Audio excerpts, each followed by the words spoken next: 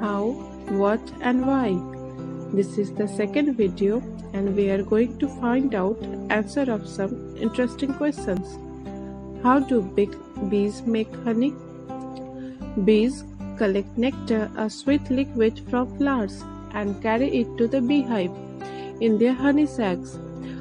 The nectar undergoes a chemical reaction and changes to honey. How do fish breathe underwater?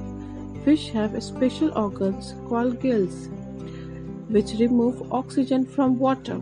Water enters through the mouth of the fish, then the oxygen is removed from the water, and the rest of the water is forced out through the gill passages.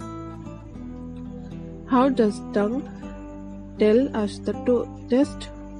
Our tongue has about 10,000 taste buds that can recognize sweet, sour, bitter, and salty flavors. How is paper made from trees? After cutting down trees, logs of wood are brought to a factory. Then the bark is removed and the wood is cut into small wood chips. After this, wood chips are mixed with water and heated to make a wood paste. The paste is flattened and dried out it becomes paper. Then the paper is cut into sheets. How are days and nights cursed? Days and nights are cursed due to the rotation of the earth on its own axis. The part of the earth faces sun experience day and the dark part experience night. How do we get malaria? We get malaria when a female Anopheles mosquito bites us it has virus in their mouth that causes the disease. So it enters the blood when the mosquito bites us. What gives flowers their sweet smell?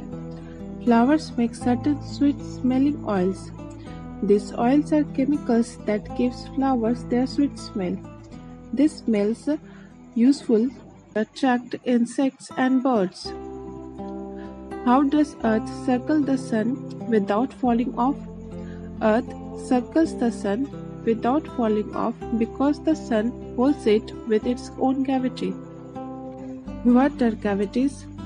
When we eat a lot of sweets, the bacteria in our mouth acts on the sugar and produces an acid.